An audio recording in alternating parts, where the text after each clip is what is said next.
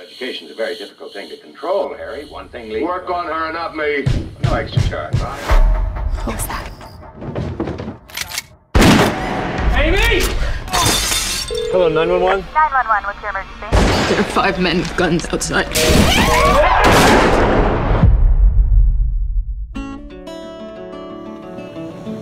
What do you think?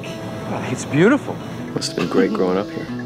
We all trust each other here. We don't even lock our doors. I saw you in a picture. Wearing your cheerleading uniform. I can dig that out of storage for you if you want. I'd like that. I'm glad we came. Fried pickley. Fried pickle? Come on, baby. No. It's good. Mrs. Owner, Charlie, put in a bid for me and my crew to rebuild that roof of yours. Oh, yeah, that's right. Can you start tomorrow?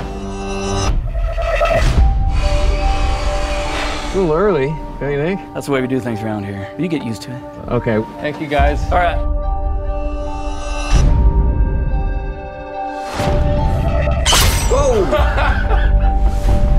That ain't right, man. That ain't right. I don't know what right is. They were practically licking my body outside. I can't just walk out there and accuse them. You're a coward. Okay, I'm firing him tomorrow. Not only that, How much they gonna pay us? Don't worry about it. We're all gonna get what we deserve. Hey, Charlie, there is something in the Bible I do believe. Thou shalt not covet thy neighbor's wife. What happens when thy neighbor's wife covets you? Well, education's a very difficult thing to control, Harry. One thing. There are five men with guns outside.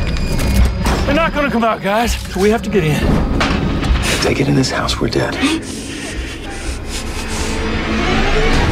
No!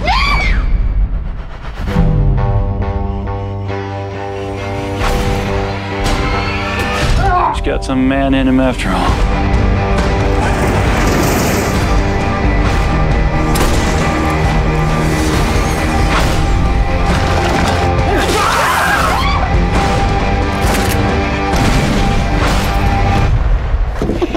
Don't be scared. My house. I will not allow violence against this house. No, no, no, no, no!